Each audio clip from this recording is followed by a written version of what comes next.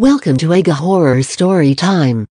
I'm going to be telling you a scary don't turn off the lights story that I collected real information from an Egga located in Egga town.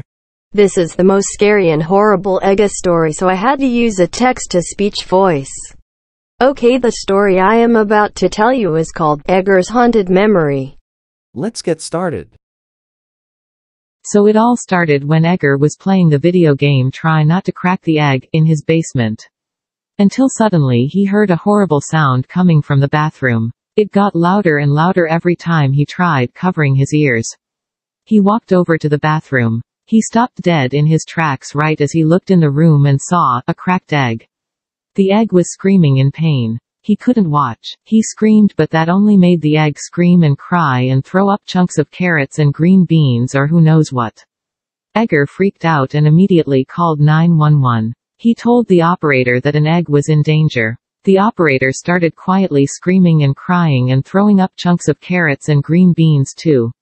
He couldn't help it. Egger explained the egg was cracked open in his basement bathroom. And how he was innocent. Then the operator just started crying a bit louder. Egger told him it was okay. Egger asked if the police were on the way. The operator managed to say yes through his crying loud mouth. And then about 68 seconds later, the police arrived. Egger told the operator that he was gonna hang up cause the police were there.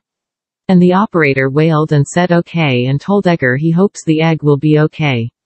Egger started tearing up but he tried to stay calm. But right as Egger hung up, the police knocked down his front door upstairs.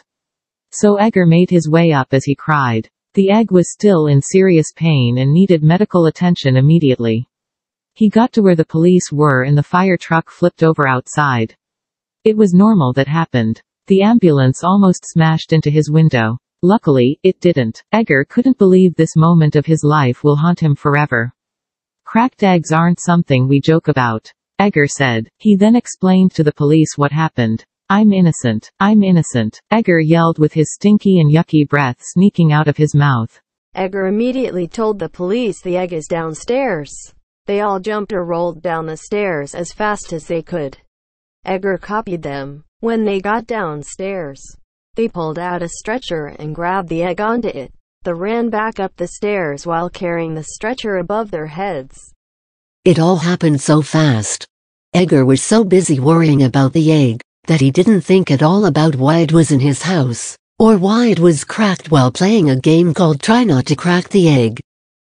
And in the game right before the egg starting crying in the bathroom, on the game the egg started to crack.